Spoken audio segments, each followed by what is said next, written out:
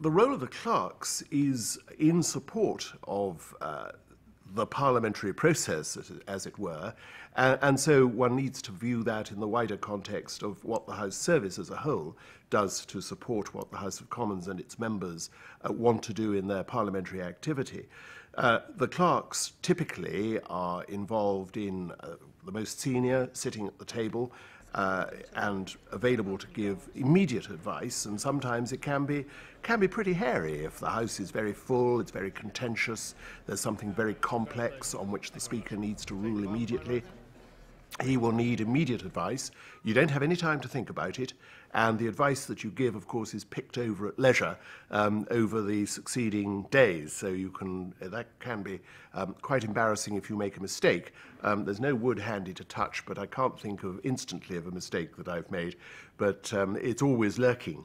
But more generally, uh, the clerks, every select committee has a clerk, um, usually a second clerk as well as the deputy, in a team of uh, anything between 6 and 15 people. And summed up in a sentence, I would say that the role of the clerk is to make a select committee as effective as possible in doing what the House has given it to do. So that means bringing together all the advice, of course, the procedural advice on how the committee goes about its work, but the expert advice, the technical advice on the particular subject the committee is investigating, and, of course, administrative staff arranging visits, looking after oral and written evidence, and things of that sort. Um, a lot of select committee reports are produced in fantastically quick time, and that is because uh, one member of each committee staff, uh, usually several, are expert in producing camera-ready copy, which can go to the printers and can be turned around sometimes in a matter of hours. And for uh, a very urgent, high-profile political matter, that can often be a, a huge advantage.